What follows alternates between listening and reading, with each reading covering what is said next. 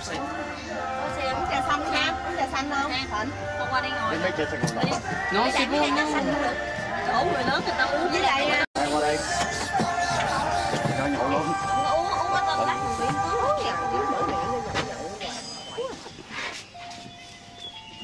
bị vậy. Này là đi ăn cơm gia đình. Không có uống nhậu gọi là đi ăn cơm gia đình.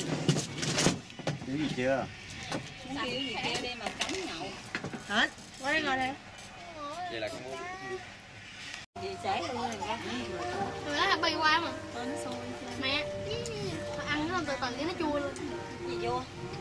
Đứng con chạy chiều vô. Chị ăn vô từ lúc đầu bình thường thì đợi lát nó nó chua Chua đồ chua nó vậy đi. Này mới ăn chua vậy? Mới làm con thợ quay cái. Con thợ. Con đâu có lỗi Không lo được nào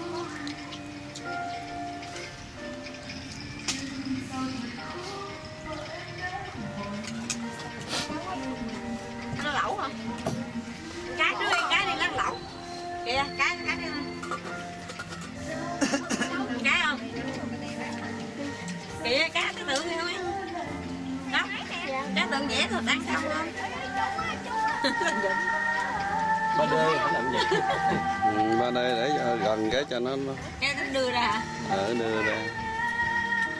Nát quay quay quá thằng chó. Té nha không đứng gần lắm á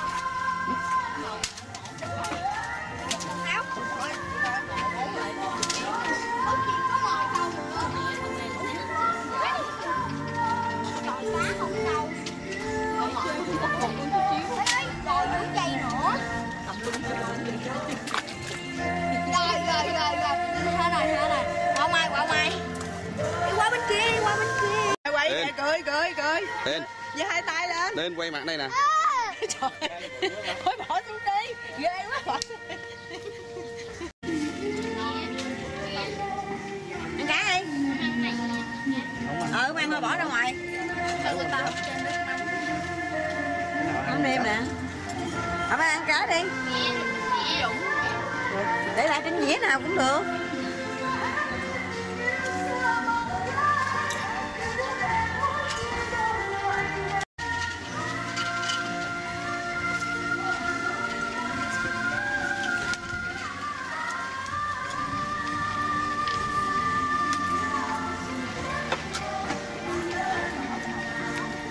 theo chứ cứ không?